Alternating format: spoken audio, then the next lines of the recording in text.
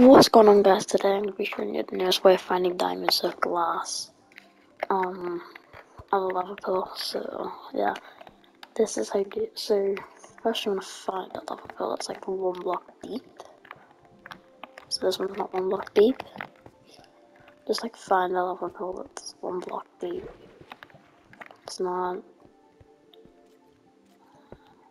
Oh this is this is that one.